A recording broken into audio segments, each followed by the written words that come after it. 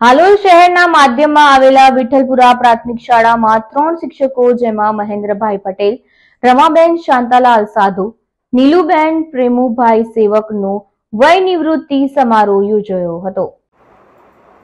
આ સન્માન સમારોહમાં હાલોલ વિધાનસભાના ધારાસભ્ય જયેન્દ્રસિંહ પરમાર, તાલુકા પંચાયત પ્રમુખ મહેન્દ્રસિંહ ચાવડા, ભાજપા પ્રમુખ પ્રવીણસિંહ પરમાર, તાલુકા પ્રાથમિક શિક્ષણ અધિકારી સોનલબેન રાઠોડ હાલોલ તાલુકા રાષ્ટ્રીય શૈક્ષણિક સંઘના અધ્યક્ષ અતુલભાઈ પટેલ સહિત મહાનુભાવો ઉપસ્થિત રહ્યા હતા. આ પ્રસંગે વિઠ્ઠલપુરા પ્રાથમિક શાળાની બાલિકાઓ દ્વારા પ્રાર્થના સભા, સ્વાગત ગીત અને ગુજરાતી ગીતો ઉપર સાંસ્કૃતિક કાર્યક્રમો રજૂ કર્યા હતા.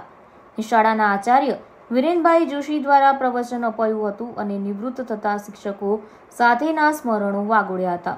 અને સીઆરસી હેડ સન ફાર્માના પ્રતિક પંડ્યાએ ઉદ્બોધન આપ્યું હતું.